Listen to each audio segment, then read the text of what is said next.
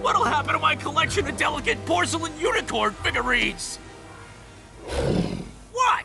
Unicorns have horns on their faces! It's hardcore! So, shut up!